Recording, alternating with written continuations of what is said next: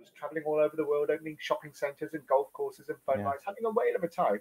But what I really wanted to do was carry on ski jumping. But because I became so popular mm-hmm. to the fact that I got more attention than the guy who won the gold medal, they didn't like it. So they imposed all these new rules and regulations, which effectively kicked me out of the sport.